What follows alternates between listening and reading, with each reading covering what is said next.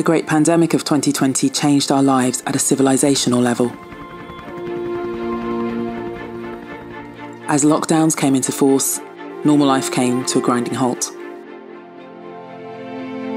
Yet many of us were able to adapt because of one fundamental reason. COVID 19 happened in the age of the internet. This graphic shows how quickly people replaced public gatherings with virtual ones. As Wall Street, Main Street, and schools went online, people began to notice a change in air quality.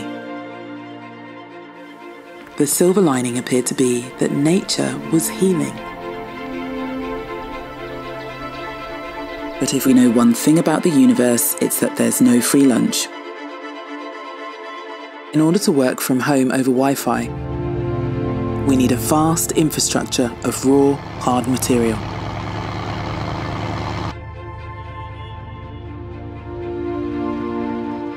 This is a fibre optic underwater internet cable. Dozens of materials protect the internet from harsh currents, earthquakes, and the occasional shark bite. There are over 380 underwater cables in operation around the world, spanning more than 1.2 million kilometres. That's almost three times the distance from the Earth to the Moon.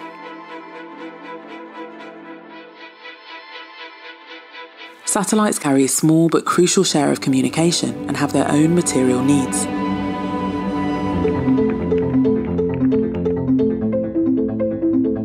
The solar panels on these satellites require exotic metals like indium, cadmium, and tellurium to keep them running. Back on Earth, there's a massive network of internet servers running behind the scenes storing and transmitting every video chat, social media post, and email. Every server requires an impressive list of raw materials. Some of them are extracted by hand, like tungsten from Uganda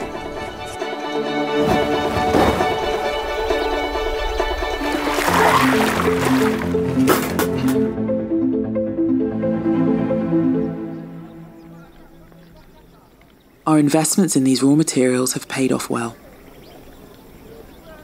Despite record unemployment, the internet made our economy more resilient than any other pandemic in history. However, access to the internet isn't evenly distributed. Consider the school districts that lack household internet in the US.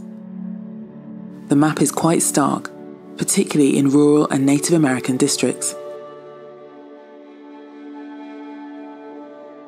The developing world still has a massive digital divide.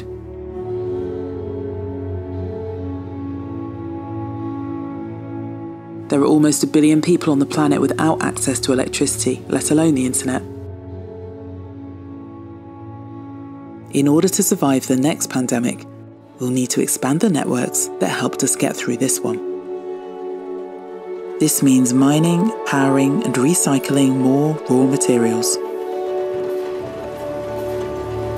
The United Nations recognised this when it announced the Sustainable Development Goals for the planet in 2015. As we move to the post pandemic world, let's not forget the infrastructure that made us resilient.